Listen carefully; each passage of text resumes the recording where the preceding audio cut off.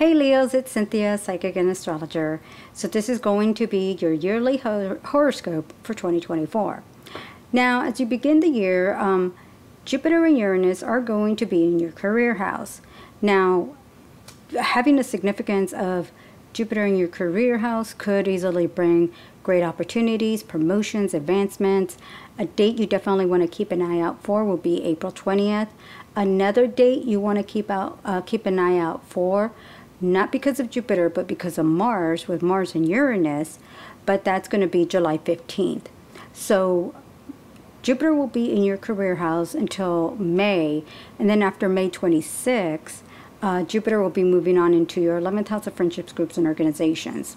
So when you have Jupiter in your career house, like I said, it could bring about opportunities, promotions, advancements, a business venture, side venture.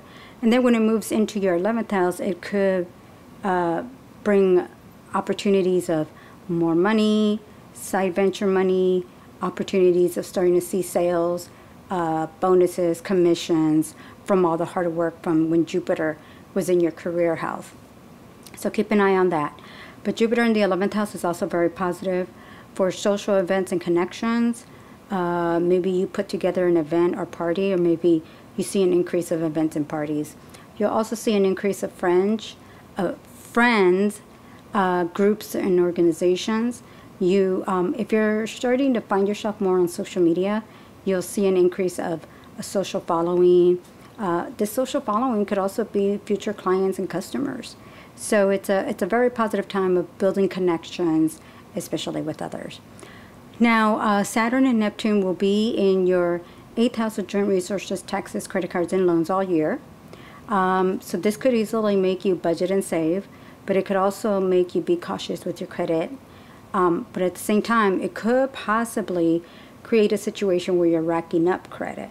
So as much as maybe you want to be cautious, this could also be a time because uh, maybe it's due to expenses, other financial obligations. So it's just something to be aware of. Now, Pluto will be entering your partnership house starting January 21st. We'll be there for about a good 14, 15 years. So Pluto in your seventh house, yes, could bring a significant partnership or relationship, an engagement, marriage. But on the negative side, it could also create a separation, breakup, or divorce. Now, collaborations could be also on a, on a professional level. So a partnership could also be in relation to um, a business. So it could easily be very positive on the long term. That could be very positive for uh, financial gains, a business, growing a business. So it's, it's something that I think could be very, very positive for you. Now, Mars will be entering your own sign in house starting November 3rd. We'll be there all the way till June 2025. The reason for that is because there will be a Mars retrograde starting December 6th through the end of February 2025. Now, Mars in your own sign, you'll definitely see a lot of energy. Um, you'll have be attracting a lot of people your way. You'll be the center of attention. That'd be great for making a lot of first impressions selling a product, uh, putting yourself out there to people, building those great connections with people. When it retrogrades, it may be a time to slow down, maybe just being cautious on what you put out there. But it's a great time to connect with others, build new connections, meet new people. You'll do well in connecting and making that great impression to others. So, when it comes to eclipses, um, you're going to be having a full moon, a lunar eclipse in your third house of short trips, communication, siblings, and neighbors on March 25th. Each eclipse lasts six months, so you may easily notice an increase of emails, text messages, phone calls, short trips, travel um, the next few months.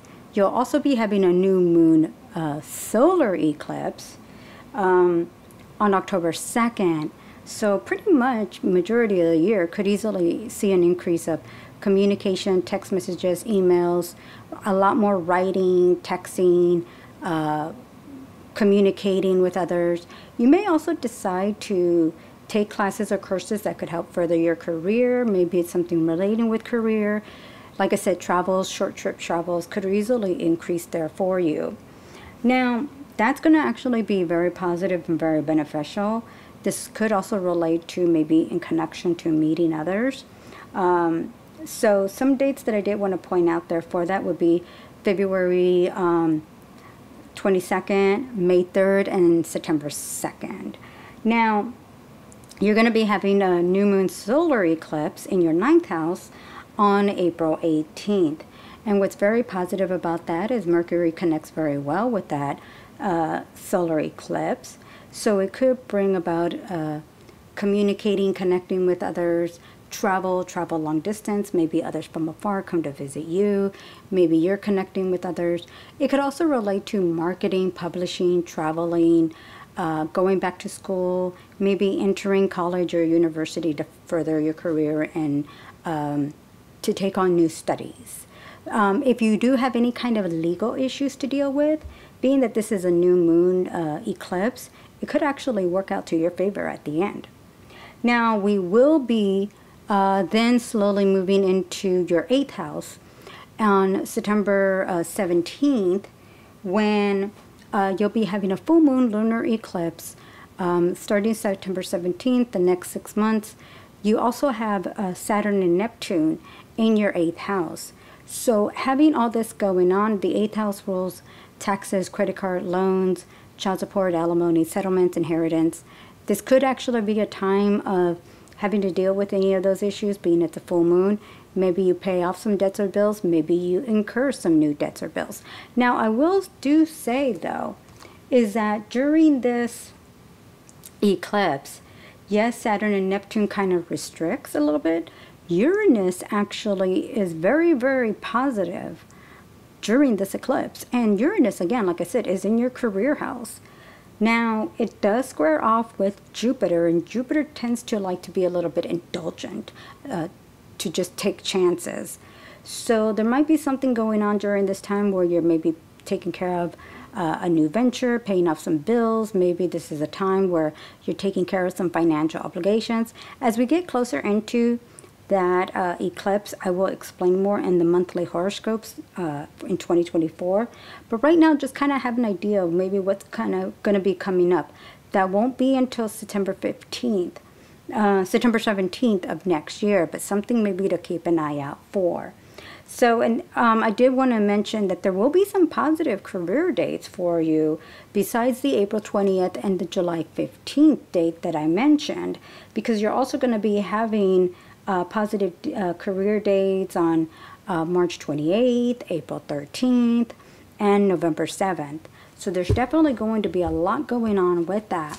But the big news for you is going to be relating with career, finances, um, opportunities of building more financial security and stability, um, opportunities that could bring you more money through side ventures or business ventures.